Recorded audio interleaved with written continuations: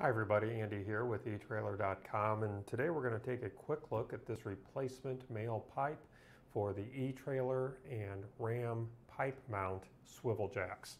This is designed to replace the male pipe on those eTrailer or Ram pipe mount swivel jacks. And let me pull out my ruler here and give you some overall measurements.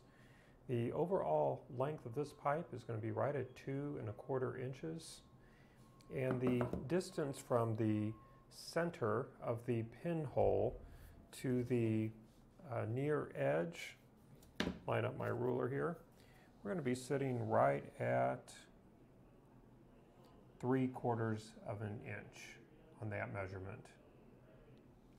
Now this pipe does have an outer diameter of two inches and then that inner diameter is going to be an inch and a half. And the pinhole diameter is going to be 5 eighths of an inch. Well, that's going to conclude our brief look today. I do hope that it was helpful for you. Again, my name is Andy. Thank you for joining me.